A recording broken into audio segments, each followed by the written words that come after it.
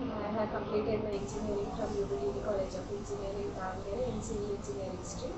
Uh, I have joined the QSpiders in the month of September. I am 2021 outlet. So immediately after my graduation, I joined QSpider uh, to college. Uh, here, initially SQL was started in Sunil sir and uh, aptitude by Lavanya Kumar sir.